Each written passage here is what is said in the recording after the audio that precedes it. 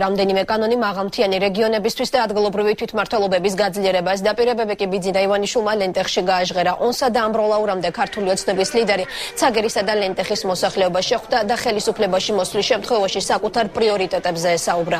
ჩვენ შემოვიღებთ კანონს რომ მოხდეს დეპუტატების გამოთხოვა თუ ისინი მოსახლეობის მოთხოვნებს არ შეასრულებენ უთხრა ივანიშვილმა ადგილზე შეკრებილებს. კოალიციის ლიდერი ადგილობრივებს გრძელვადიან და სიმბოლურ პროცენტიან სესხებსაც დაპირდა და სოფლის მეურნეობის განვითარების კონკრეტული გეგმები გააცნო.